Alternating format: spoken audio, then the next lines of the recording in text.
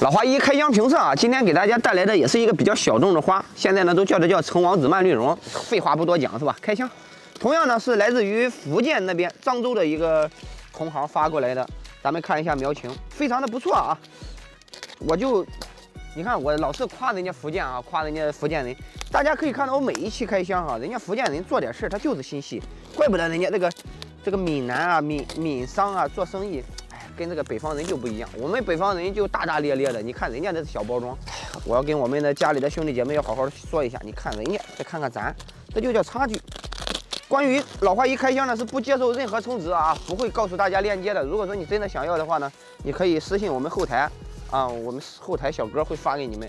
这个呢，不作为任何的推广，只作为一个什么呢？哎，给大家教学。虽然说它的那个小品种呢比较小众，但是它大品种就比较大众了。蔓绿绒都应该听过吧？什么金丝蔓绿绒，哎，这蔓绿绒、荧光蔓绿绒，去年老火了。这个呢，现在价格也不贵，这么大一颗，三十多块钱，三十二块钱，包装还比较细心。来，没开箱之前就感觉心里美滋滋的，就是很期待的那种感觉，你知道吧？来，咱们先打开看看什么样子。你感觉就是很用心的去做这个包装哈，很用心。哇，真的是，就这个包装没有。我跟你说，不是老板娘亲自打的，我都不相信。其实我在买这些东西的时候，哈，都不是用我的身份去买的，是用我们后台的静姐，她用她的身份去买的。来给大家看一下苗情啊，呃，最近天气回暖了，还没有冻伤。有的话说，这叶子怎么黄了？对，它就是这种橙色的，所以说现在也叫橙王子蔓绿绒了，好吧？是一种观叶类的。给大家打开看看根系怎么样？很大一颗啊，很直。哇，感觉这个价位很值。它不是那么大众，像很多的花友呢都喜欢养这种叶子比较好看的观叶植物。很多的花友在养护的时候不会养，顺顺便呢，咱也给大家来一起扫盲。咱们看一下根系，用到的是一些他们当地的一些腐殖土，然后掺了一些个沙子。好，咱们苗情还是比较好的哈，苗情接近于满分，但是呢，路途上肯定是有一些个波折的。根系很好，很棒，这个土还可以的，这就是他们当地的腐殖土了。不过呢，这个这个腐殖土发酵的不够完全哈。发酵的还不够完全。好了，接下来入盆啊，顺便给大家叨叨一下养护。那接下来呢，咱们就种盆啊。大家在选盆的时候不要纠结了，就是根据这个花的一个冠幅，然后大家种上去看一下黄金比例。像这个盆呢，就是它的一个极限了。而咱们这么种入的时候呢，这个盆显得，哎，就是有点大。大家在种的时候呢，就要稍加注意，不要埋得太深了。很多人花友埋的时候呢，都是这么直直的给它埋进去。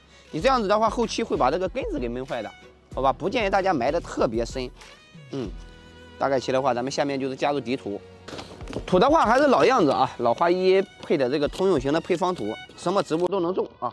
无论是月季绣球、铁线莲、杜鹃、山茶、栀子花、绿萝、吊兰、龟背竹、香蕉、橘子、苹果梨、小麦、黄瓜、西红柿、多肉、石斛、君子兰。不论是你种豆还是种瓜，不论你种菜还是种花，不论你育苗还是扦插，通通都能用。土质很 OK 的啊。下来呢，来加入一部分底土。有的话说啊，老黄你这个盆窟窿眼太大了，漏土，漏土是吧？我教你一方法，你提前让它漏，把这些大颗粒作为底下，哎，也能以防烂根，哎，对吧？还能增强透气，这不何乐而不为？给它塞下去不就行了？你担心漏，提前让它漏，这不就不漏了吗？我们家土一般是不漏的啊，这个只是说给大家开个小玩笑。再加入一听底土，加入底肥啊，像这种东西的话，咱们是原盆的入土，又很健康，怕个什么了？加肥可以多加一点，有的话问这个肥料烧不烧花？烧花不烧花的，我跟你说，那个倒不会，就是烧钱。加入一听，避免与根系的直接接触。接下来呢，咱们就类似于等于速土入盆了，大概比量比量，比量一下的话呢，大家可以看到，我要是跟那个花盆持平的一个话呢，会埋到这个地方，所以说呢，咱们再往上提一提，再加一点土。这种花有一个特性，就是它会从这种茎上面长气根。大家可以看到这个位置有很多的一个气根长出来。这种呢，一般哈，大家要了解的时候呢，像这种蔓绿绒这种东西，一般都是在热带雨林里边的那种感觉。他们那边的话，空气湿度相对来说都会比较高。而咱们家里面很多的花友就是很干燥，浇水浇的特别多，它特别容易烂根。它的一个本身的这个盆土里面的根系呢，不会长得过分的很强。好吧，他们都会，你即算你就算是你再怎么着，它也会长气根，这是它的一个特性。就是说句不好听的是吧？